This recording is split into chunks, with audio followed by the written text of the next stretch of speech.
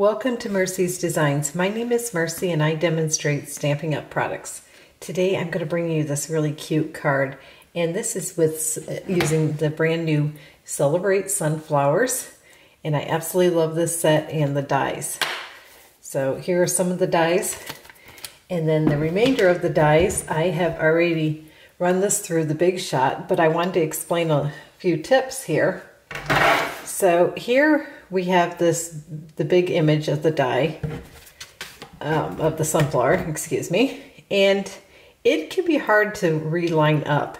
So one of the things I did, which I'll show you, is I put a little piece of white tape. This is from my label maker, a little scrap, right here on this particular piece. Now you could use um, mark any spot, but that one was the most distinct to me.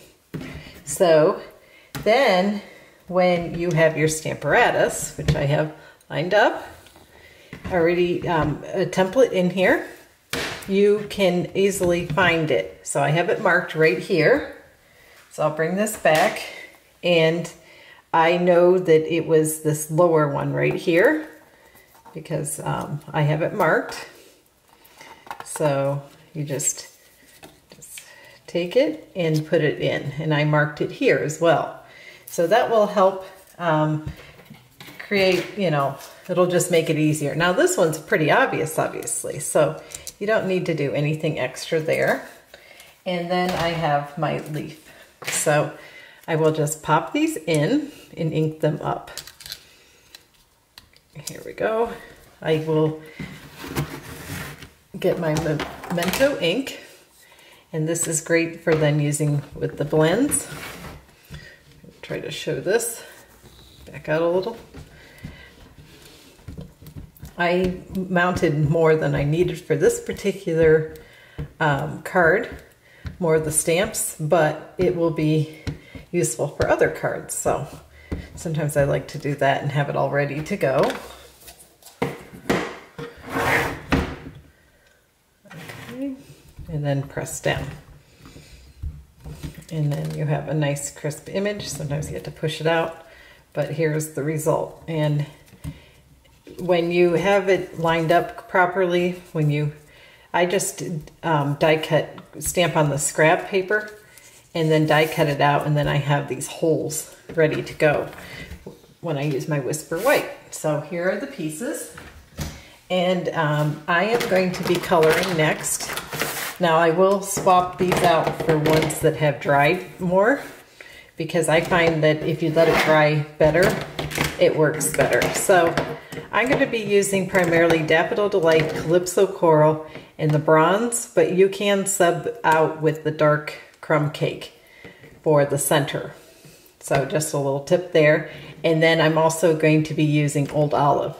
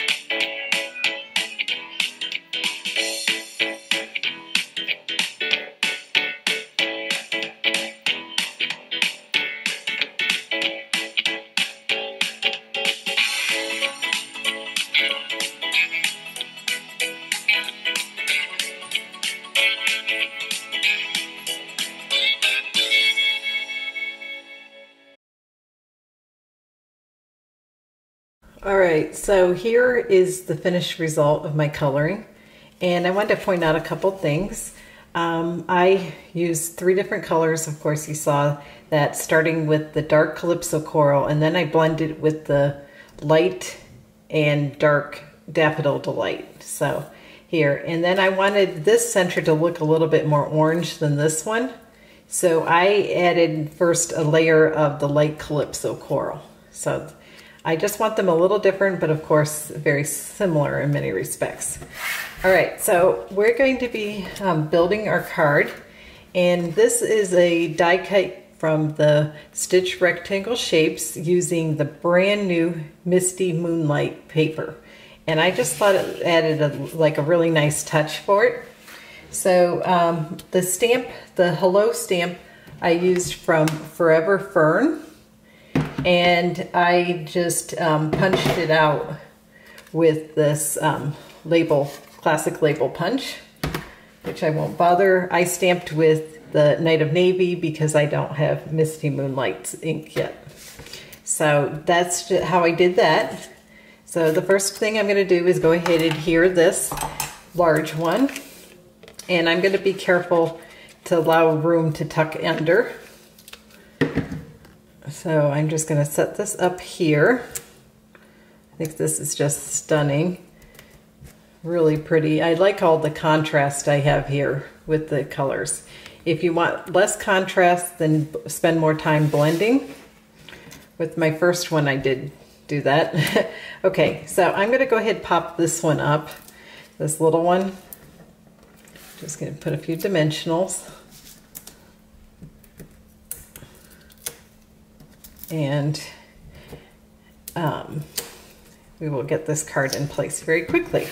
Okay, so here is the hello, and I'm going to go ahead and use a little snail. Now, I prefer liquid glue generally speaking, but occasionally, if I'm not sure of the placement, I will use snail. Okay, so I want this to be tucked in, and I want this one to kind of overlap a little bit. So think that looks pretty good. Okay, and then I want this straight, obviously.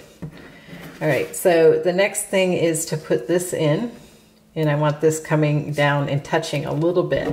So it all the pieces tie together. It can sometimes be hard to pull off multiple focal images, but in this case, I think it works and they're related images, they're, meaning they're both sunflowers. So there you have that part.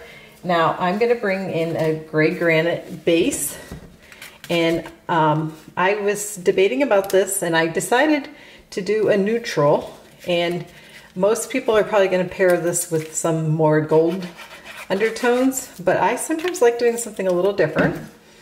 And a neutral goes pretty well with everything. I'm going to have this offset and I'm going to once again bring in some of my metallic pearls. I love these pearls. I think they go with a lot. So I'm gonna just pop one. Eh, this time I'll pop it down here. I think that looks cool. And then we're gonna do a little bit of stamping inside.